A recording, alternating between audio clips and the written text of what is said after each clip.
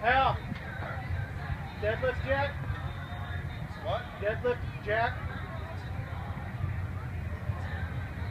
Oh! For tomorrow. Do you need one? Are you gonna hold I tonight? have one. You do? You ha- You're gonna have to hold it, whoever's using it, because fine. it kind of tips forward when there's weight on it. We'll It's take got to it. get remade, but I can bring it. Please do. Yep.